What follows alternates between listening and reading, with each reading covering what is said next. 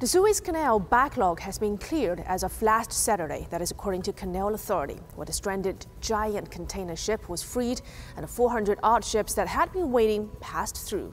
But the ensuing economic fallout from the six-day blockage is far from over. The canal offers ships the shortest link between Asia and Europe and sees 12% of global trade and about 9% of total seaborne traded petroleum pass through it each year. This is why, after the Ever Given was stranded, oil prices shot up right away. The Suez Canal Authority has put an initial $1 billion price tag on the valued losses, but others say the damage can be way bigger.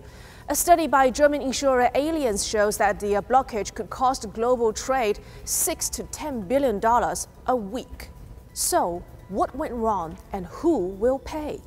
Authorities say that a 400 meter long ship was grounded by high winds and a huge dust storm, but they do not rule out the possibility of technical or human error. Further investigations are now underway. The ship is owned by a Japanese firm, sails under the flag of Panama, leased by a Taiwan based conglomerate, and its crew was hired by a German management agent. And now Egypt is already seeking $1 billion compensation from the operator.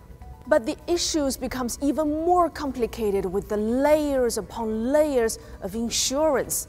Reinsurers, companies that covers the risk of other insurance companies, all come into play.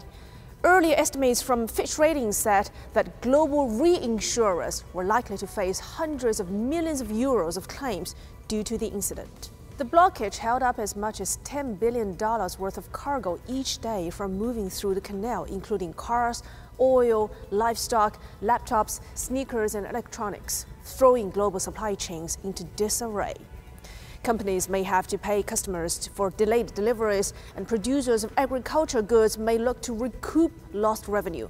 All of these cascading efforts could amount to higher and higher insurance claims. It took days to clear the Suez Canal, but it may take years to figure out the cost.